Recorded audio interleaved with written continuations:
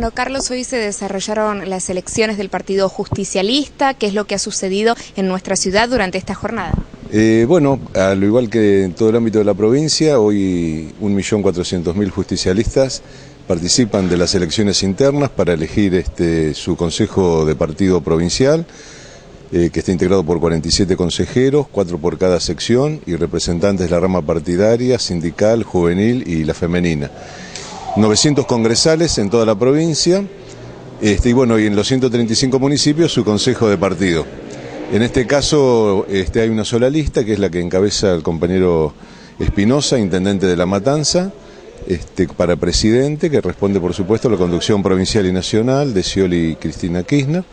Y bueno, y en el orden local también se ha presentado una sola lista, así que este, por ley, bueno, este, debe votar el 5% del padrón para convalidar la elección, obviamente que aquí se, y en todo el ámbito provincial se excedió ampliamente ese, ese margen. Y bueno, y a partir de ahora este, se renuevan los mandatos, digamos cuatro años este, de mandato tienen las autoridades partidarias para la conducción del partido provincial y los municipales. Bueno, y en el caso de General Las Heras hubo dos lugares para la votación. Exacto, sí, eh, todo en Villar, por supuesto la comunidad de Villar y también el ámbito rural votó en Villars y bueno, en General Las Heras en una sola escuela, que es esta, la, escuela número uno.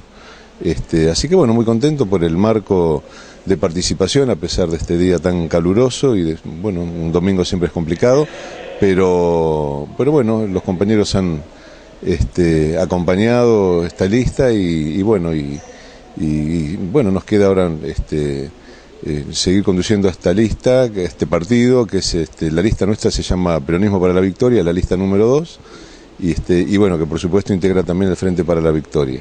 Así que este, este cumplido que sea el acto electoral, eh, seguramente la justicia partidaria convalidará los resultados y seguramente antes de fin de año estaríamos ya en funciones este, en los cargos partidarios.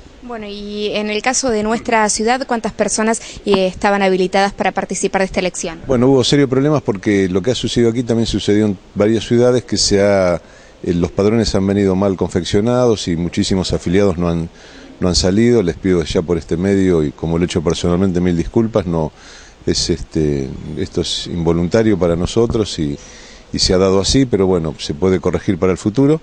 En las Heras hay un padrón de este, 1.700 actualmente, si bien sabemos que, hay muchísimos más, pero bueno, han venido 1.700 este, afiliados. Bueno, ¿y cómo ha sido la respuesta de la gente aquí en General Las Heras, tanto en la Escuela 1 como en la Escuela 8? Bien, bien, tengo entendido por lo que dicen los compañeros que bueno, ya más de la mitad de los, del padrón ha, ha votado, así que este, bueno, con eso obviamente estamos más que satisfechos.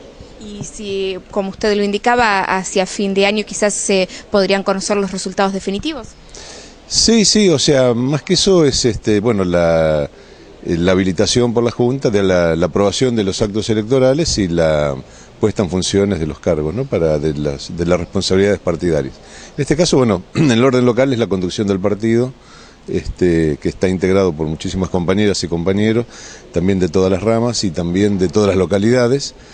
lo que le da a nuestra lista un carácter bien participativo en, nuestra ciudad y bueno, y con distintos roles para, para trabajar en, en distintas cuestiones que tienen que ver con, con la problemática municipal y social.